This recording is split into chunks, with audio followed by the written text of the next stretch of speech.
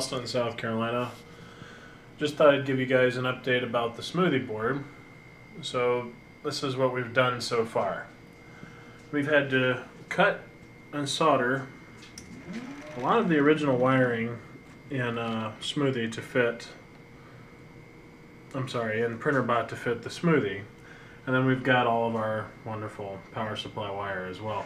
I'm in the process of lengthening some of these wires, like this, uh, this, you know, four-pin Molex that goes to the top of my extruder. The reason I have that there is it powers a, a fan on that E3D hot end right there. I'll zoom in here so you can get it. That's an E3D version 6. That's one of the improvements made to this uh, Frankenbot. And then, of course, there's an extruder fan on the back of the extruder because we've had some issues in the past with some overheating. So that's on there. And um, then we've got an independently powered heat bed right here, which is kind of cool. Let's plug it up and give you guys a demo real quick. This was bought on eBay from a seller called Kenovo, and so far I've been extremely pleased with it. Um, it's actually one of those cloth fiberglass heating mats that's designed for industrial use, but for our purposes it works just great. Um, and we have this old 350 watt power supply from the original PrintrBot goes in that little power tower back there. Yeah, that was a joke. So, um, the only thing it's good for is really powering Smoothie and the hot end, and that's about it. So, um, let's take a look at Smoothie once it's all set up. You're going to need to print a case, which Smoothie has some of these cases already on the SD card when you get it, which that is awesome. And then we've got all kinds of fun in here. It looks like a mess, but it's actually not. So your end-stop connectors are right over here. And for most end stops, you're going to only use ground and signal. Um, except for my probe, which is this nice little three-wire plug here. That's the Z probe. The brown is your positive power, blue is your um, signal, and black is your, well, ground.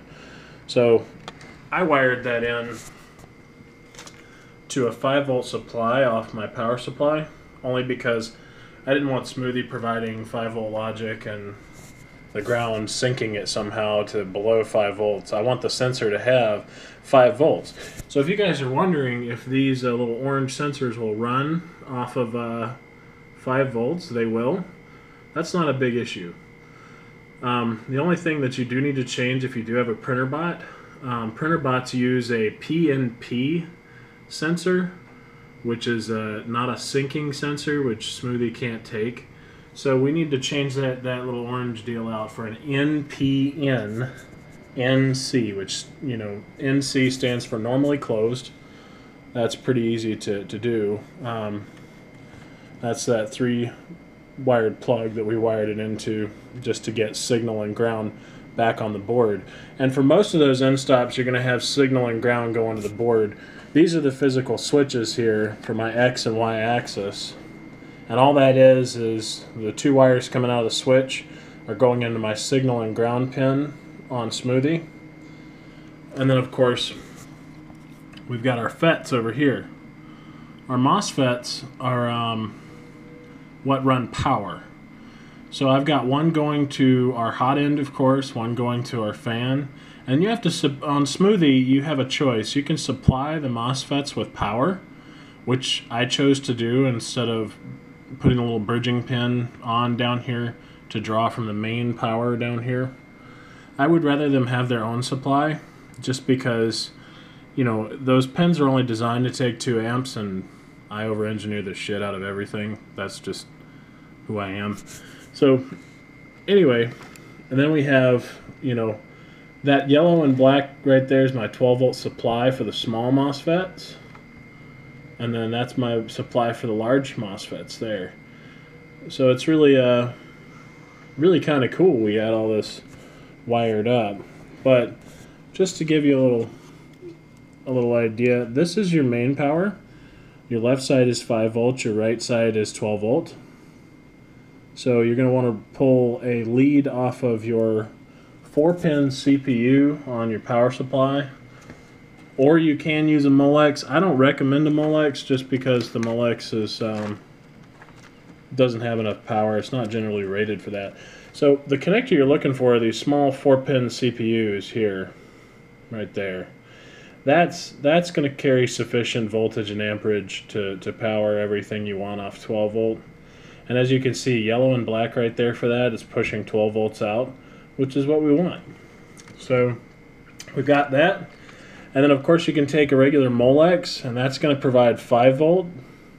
Now this one was odd. I don't know who made these, but they screwed up the, the coloring of the wire. This red wire here that I just left out, that's actually a ground pin. It's not supposed to be there. It's supposed to be black for ground. So we've got yellow, which is you know 12 volt. We got black in the middle. These these two are supposed to be black. They're ground leads. And then the one that's not populated on this is 5 volt, which is royal pain in the ass.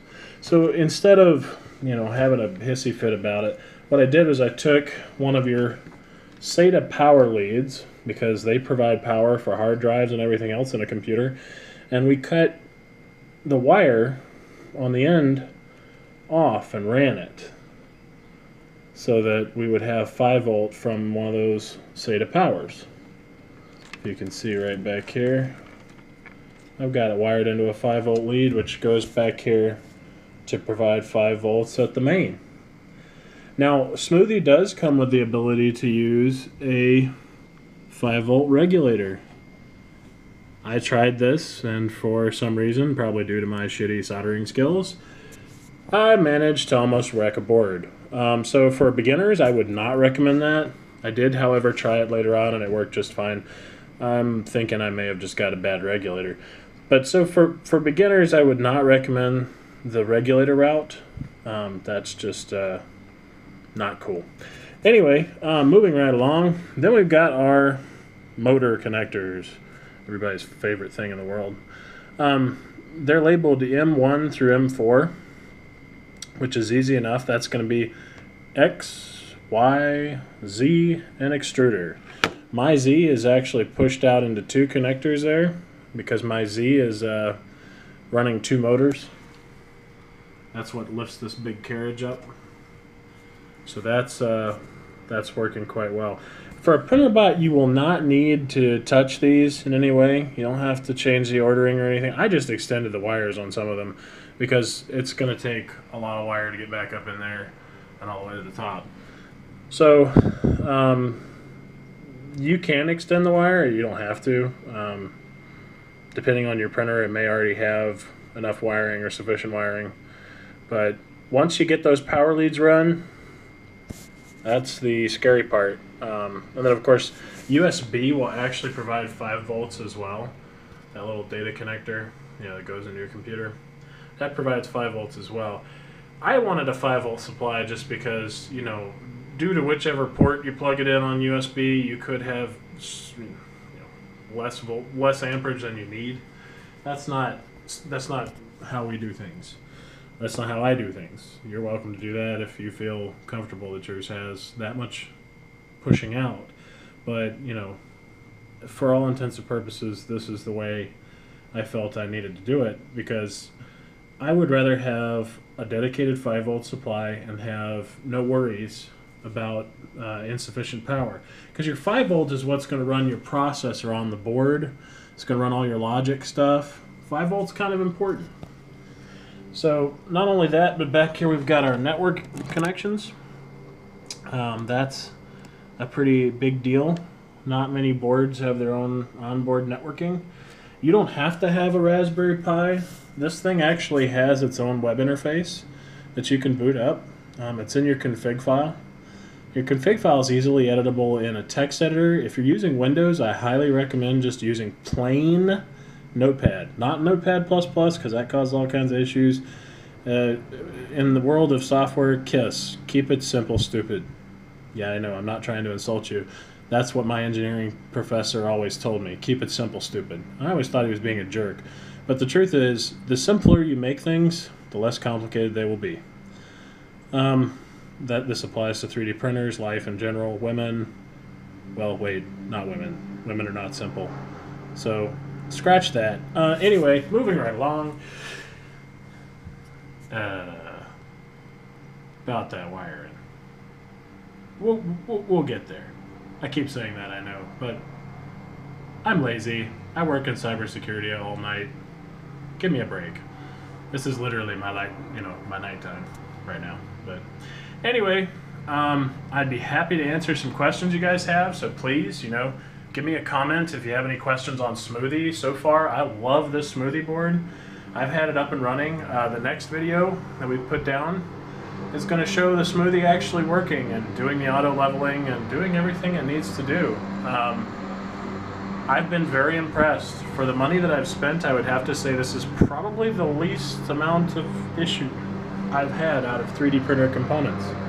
You know, it's just sad you pay $1,300 for a, an item like this, and um, due to the flawed design of the board, they have issues uh, working. See, PrintrBot, when they made their boards, put a micro USB connector on the board, which is severely flawed. You don't want that. Um, micro USB is quite, quite uh, insufficient for most applications outside of prototyping electronics. If you notice, the Smoothie uses USB-B, which is the kind of connector you want. It's shielded it, it can stand a lot more stress moving in and out on a board. That's the connector we want to use for you know a production style board. We don't use uh, micro USB. So that's part of our, our issues with the PrintrBot. The other was that this hot end, the one they provide, the Ubis hot end, actually has uh, too big of a, a hot zone. And it's made out of ceramic, so it distributes the heat into the hot zone. That's a big problem. That causes jams with ABS. Um, that's not cool, especially not for the amount of money we're talking about. You guys could have put an E3D hot end on this and then sent it back out. This video's purpose is not to to, to bash PrintrBot. I'm just detailing why certain mods were made. Um, the mods were made for good reason.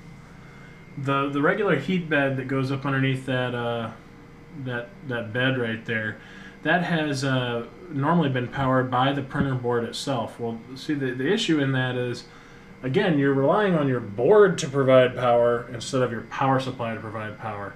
This causes a bad problem. Normally, when we're running it, if you look everywhere else, the way printers are designed, they run with a 12 volt um, relay. This 12 volt relay pushes 12 volts from your power supply directly to the heat bed so that it gets enough juice to do what it needs to do. Um, I, like I said, I over engineer the shit out of everything. So I opted for this nice little AC powered, independently controlled heat bed. Why is that desirable? Well, you know, in case you want to print in, in filaments that are not exactly standard, like your, you know, carbon fiber or your nylons that have higher heat requirements, if you don't want your filament to crack, the cracking is caused by rapid cooling meaning that you're you're you're not producing enough even heat across your, your heat bed surface. You can combat that by raising your heat bed temperature, although not to the point that you see the elephant foot artifact. Elephant foot is where a print is, is squished at the bottom, and that's uh, that's a sign of you know you have too much heat.